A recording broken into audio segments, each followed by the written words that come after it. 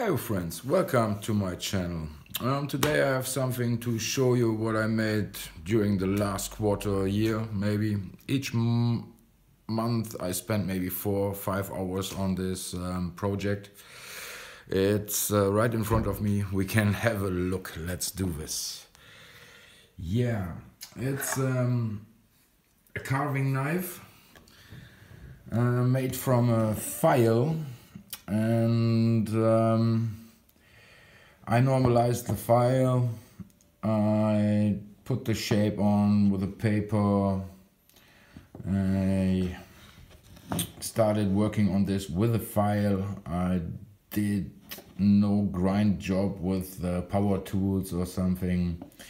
Sure, um, I had to sand it a lot and made sure it's square and nice the way I wanted to.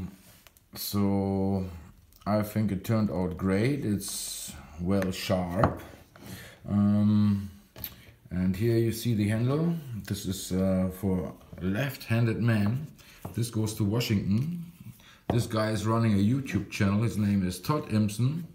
He is a great carver. If you check out his channel, you know I won't fool you on checking out his channel. Uh, if you like carving stuff, check out his channel. He is doing awesome work. And he asked me to um, make him a carving knife.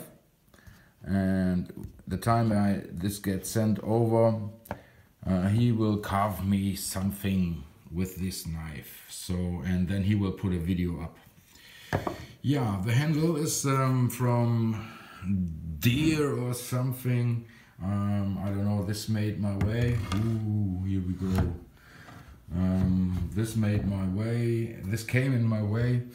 And I thought, yeah, that's good material. See here, I cut it off um, that piece. I was using my left hand to um, to check out how how the best how it will fit best and it was this part of the handle for a left-handed man. So I used that type and um, I made this um, um, I made this uh, knife and the handle. Um, I drilled a hole in here.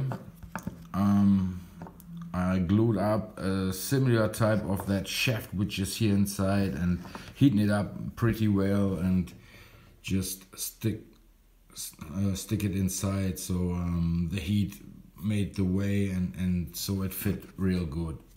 I took a brass bar and cut off a piece. I filed out the hole to, to get this um, brass finish here on that top end. Uh, glued it in after 24 hours. Um, it was it was dried out so I was able to drill those holes. I made those pins those brass pins I made them on my own um, and put them in and riveted them. I think it turned out good it lies real good in the hand for the, for left hand. I mean, even in the right hand it feels good, but not that good. You know, it's it's okay, but something is uh, different. It's made for a left-handed man, so. Um, it's polished on 3000 grit. Also, um, it's it's sharp, and you see it's it's very shiny. It's like um, yeah, like a mirror. This goes to Washington, to Todd Impson. Check out his channel if you like carving stuff. If you don't, don't. If you do, that would be nice. Um, that's it for today. I still try to make um, still try to make a, a, shaft, a scabbard or whatever you say for this blade. I'm not sure, maybe I'm using bone, maybe leather or maybe wood. I'm not sure. See what my brain tells me, what, what will turn out best. Thanks for tuning in. Thank you for watching and see you on the next. Bye bye.